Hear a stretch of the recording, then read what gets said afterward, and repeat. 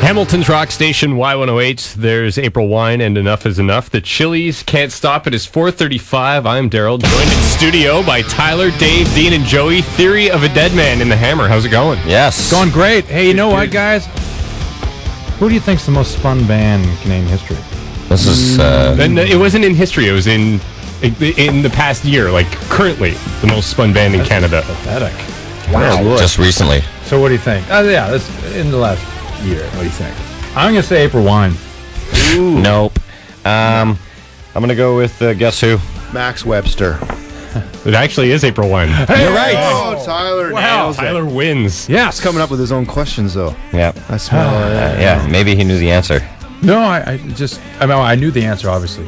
Came into practice his golf swing today and uh, talk a little Canadian rock trivia. Turns out he's better uh, uh, golfer as a left-handed golfer than he is as natural right-handed. Women say I'm better with my left hand. The new album, The Truth Is, comes out today. Uh, Low Life already a big hit. Congratulations. Must be uh, satisfying to be uh, at the point of release day and ready to go hit the road again. We're just happy we're here in your studio. That's what we said. We go, no matter when our record comes out, we want to be in the Y108 studio. It is a, a pretty Hamilton. sweet studio. The the the purple uh, carpeting on the roof and, and purple desktop. It's a very stylish locale just to kind of hang out. I like it. I it's still the carpet on the roof is somehow really gross and dirty. Somehow I don't know how. Footprints on it. What's going on here?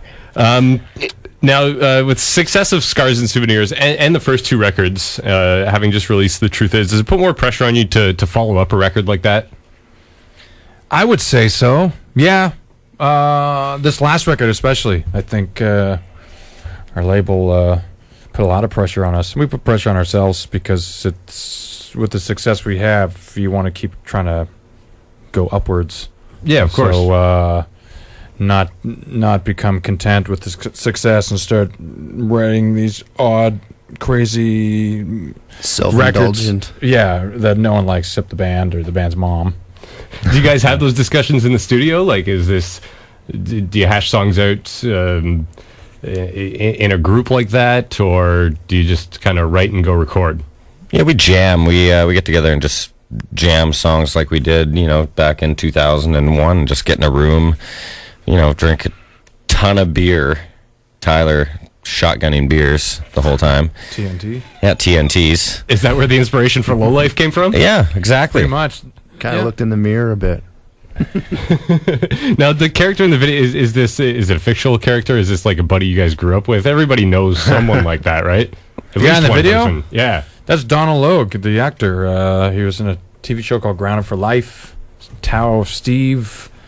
Uh, he's been in tons of movies. Uh, we don't know how he even got out. The, the director was friends with his, so uh, when we found out he wanted to do the video, we were like, sweet. So go check him out. His name is Donald, not Donald.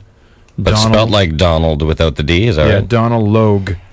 Yeah, he's in tons of stuff. Uh, so it was great. He's probably the most famous guy we've had in the It's funny, we've shot Video. like 15 videos, but uh, I think he's the first actual actor we've worked with because Right. it was interesting to see like how somebody that actually knows what they're doing carries themselves on a on like a set. Whereas you know in the past actors that we've had in our videos, not to slight them or anything, but you know they're Oh, you are. They're, too. they're, they're music video actors as opposed to actual Right. trained actors. You know, so he was uh, he was able to carry the scenes on his own. It was pretty funny. Well, you guys are recording in L.A. now. That's what happens, right? You get the bi- you get the real actor, not the music video. That's actor. right. That's right. We get, uh, and a lot of the hookers we have in the studio are, are The real Like deal. top notch now. The real deal. top notch because usually a lot of them were actors and said, "Forget it, we're just going to become prostitutes now." Hang out at recording studios. That's fun. Um, you're Tyler. You're living in L.A. now. Is there are, are the rest of the band living in L.A. or just you? just me. Joe, our drummer over here, he doesn't have a microphone. We don't let him talk. But why, why, uh, why do the drummers never get the microphones? he, You guys never ask me any questions.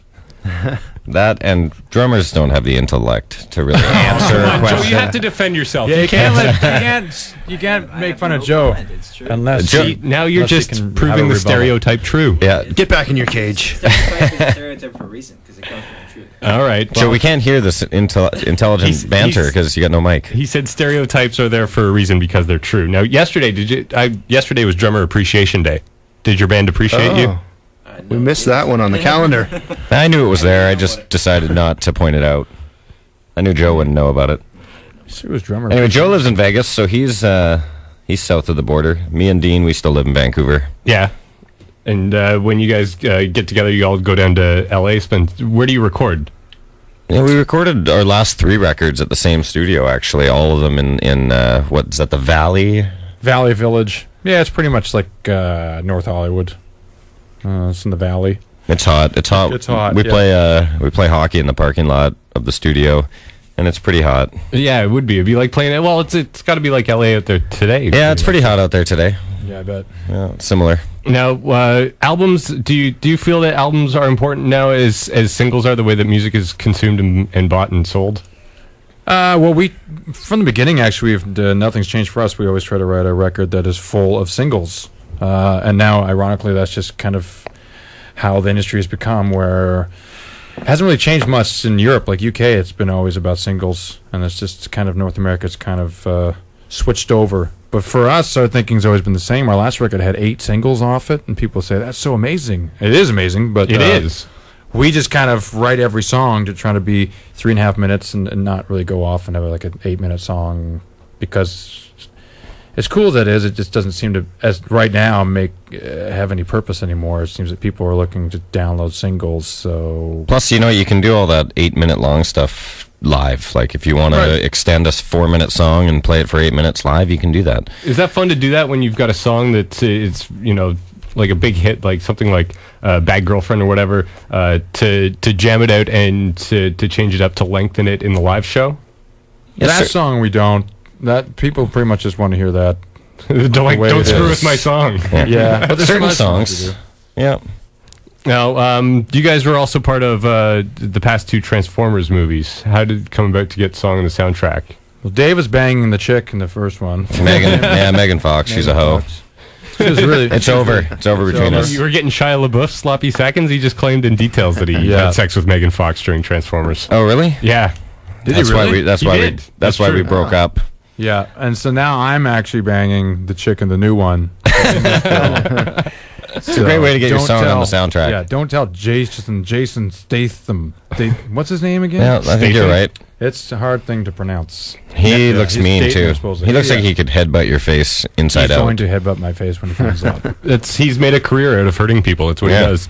Uh, you guys just played Sarnia Bay Fest, and you're gearing up for the Carnival of Madness summer tour, uh, which starts August the 13th, and you're going to be in uh, Ottawa for Blues Fest. So there's a, a couple shows coming off or coming up, and then uh, a couple weeks of downtime. You guys do a little vacationing in between the tours. Yeah, just spend some time at home and basically say our last goodbyes before the touring schedule really kicks in and we never see our friends and family ever again. Now the the tour schedule it takes you through Carnival of Madness goes all through the states. There's no ca- there's no Canadian shows Yeah, no, there isn't.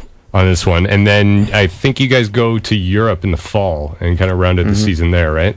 yeah, we'll be in the states until November, and then uh, the UK end of November and December. So we're talking next year for Canada. We don't, we haven't set anything up yet, but uh, we definitely want to put some kind of a tour together. Our agent would- will probably want us to play Hamilton on Christmas morning, which I'm cool with.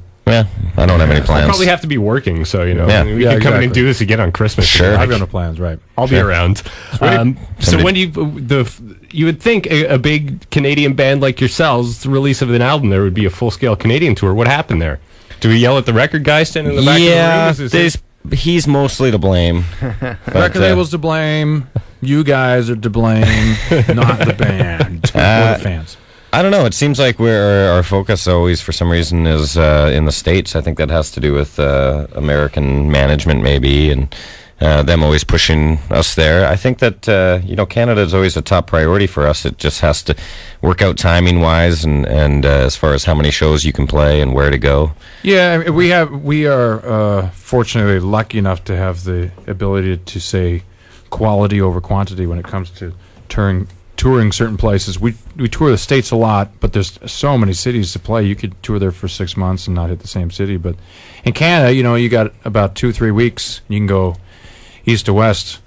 Uh, so for us, we were we really want to make sure we have a great package and have uh some cool bands go with us and put on great shows in every city, and not just kind of drop drop in to say hi and play a couple shows here. and there. Yeah, what always ends up happening is they just add like a date here or there onto the tour that we're on, so it's like you just jump up and play one local show. bands opening for us, and we're like, yeah, it would be nice to put on like a, a real tour with like four bands or something. Yeah. you know, have a name of it and stuff like that. So And there's really only in Canada a handful of bands that really crack through and make it into the States and, and, and make a name for themselves south of the border. yeah, It's tough to do. Yeah, it's you know for us it's uh, uh, like I said before, it's we're lucky because uh, things are working in Europe and stuff too. So we're gonna go over there more often. Last time we only went twice, so this time hopefully we can go. You know, many times. Yeah, it's nice to have options. It keeps it fresh. You don't end up uh, saturating any one market either. So Then you don't see the same groupies tour yeah, after tour. yeah. Well, we still do. They travel. Do you have a convoy that comes along yeah, with you? they they follow us around. You get the Ho train, the theory of a dead man Ho train. Yeah, we like choo them. choo. well, once again, congratulations on the success of the new album, The Truth Is, and and Low Life, which is a huge hit in Canada. I'm sure it will be uh, the same in the States. Uh, good luck with the Carnival of Madness tour. Thank you.